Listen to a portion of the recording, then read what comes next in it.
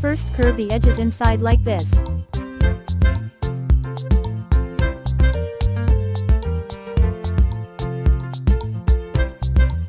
Then start knocking the bat with tilted hammer till you complete 1000 knocking then keep the hammer straight hit throughout the bat evenly till you get a even surface.